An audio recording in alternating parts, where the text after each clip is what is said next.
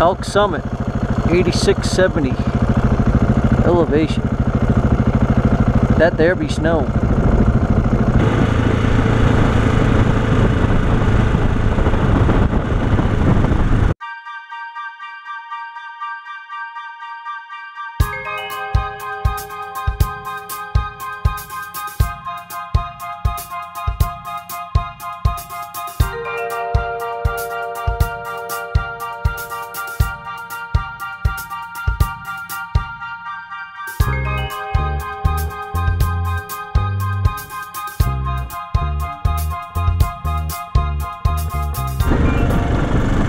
They said uh, two weeks ago this was impassable because of snow. Assuming it was right there. It's like going through a Christmas tree forest. I just had this, uh, I'm like, reflection of just thinking that this bike left Las Vegas and now I'm in this such different terrain. It's just unbelievable where a motorcycle will take you.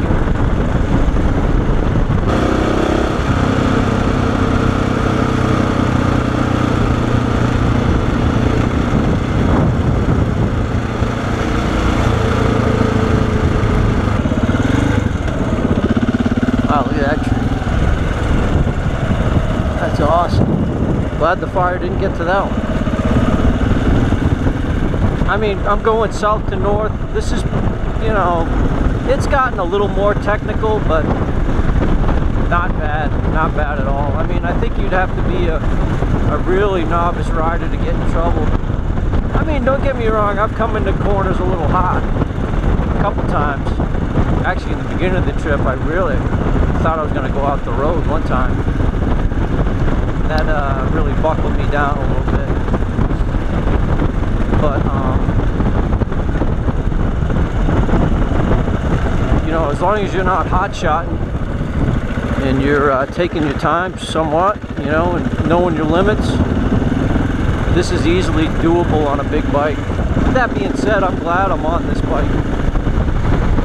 I'm sure, I mean, I've never ridden a GS, but this thing is just so light, nimble, it's so easy to maneuver. It is a narrow road though, you gotta, you know, oops. Speaking of that, right? Just as I said it.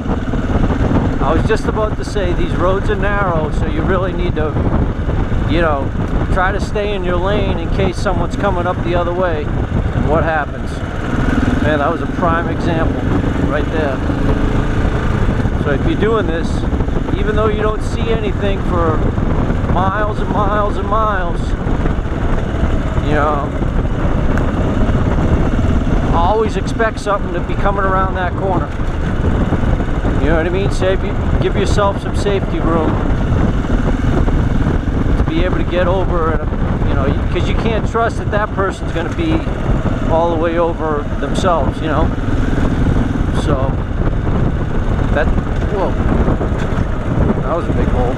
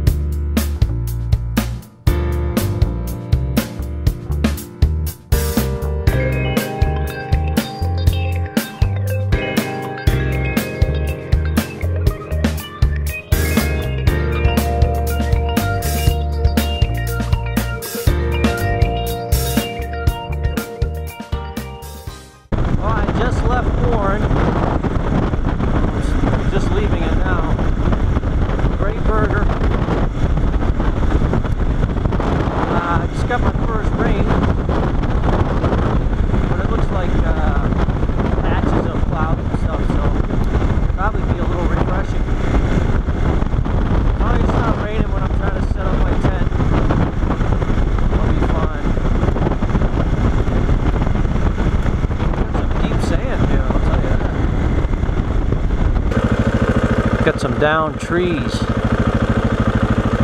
Wow. Well, it was just windy. Welcome to Idaho, where a road may not be a road. Let's go investigate. Oh, those fine gentlemen cut it all up and moved it. Might be more though, we'll see. Another reminder why you want to bring an axe and a saw.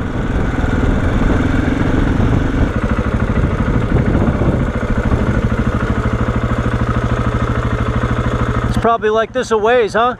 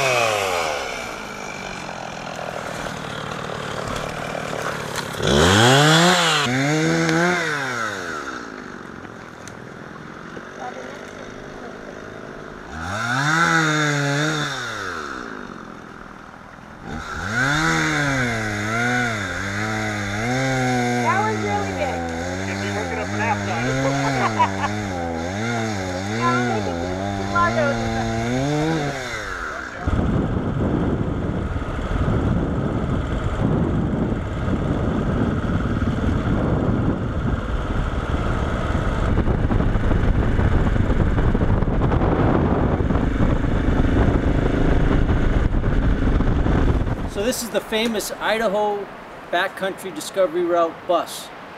It's out here in the middle of nowhere. It's a great landmark. It's one I definitely wanted to find and film. I was hoping it was for sale. I, I, I don't have a contact number on there or anything. Let me show you what shape she's in. Maybe I can get somebody to go in partners with me. What do you think? Gonna need a front tire for sure. The uh, front fender though has good air vents to cool the motor off better. And the uh, steps are, steps work good. Um, it has air conditioning because it doesn't have any windows, so the air conditioning's great. What's unbelievable is the motor is still in this thing. Someone took the valve covers off. Still has spark plugs in it. Oh look, there's a shoe under there too.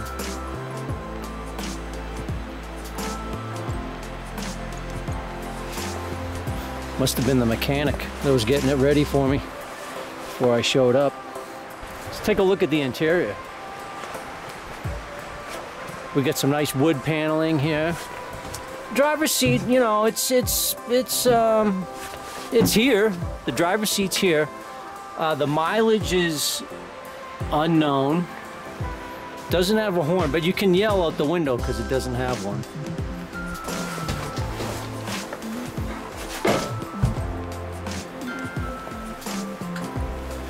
Looks like someone built an entertainment center here. Might fit a nice, uh, probably fit a nice 48 inch TV. Huh? Watch the ball games. You got a nice uh, slab here for a nice queen size bed. Some shelving over there for your pants, shirts. Comes with a plant. Actually, looks like there was a wood stove in here at one point. See if there's any license plates or anything. I doubt it, but you never know.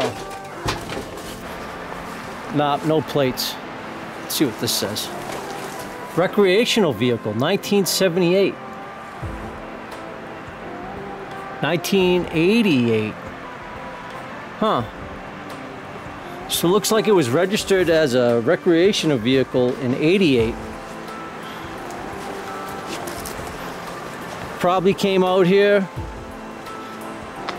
got stuck or broke down. Pretty cool, pretty cool.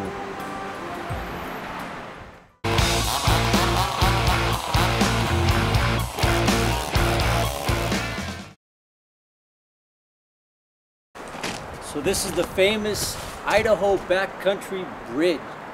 Bridge.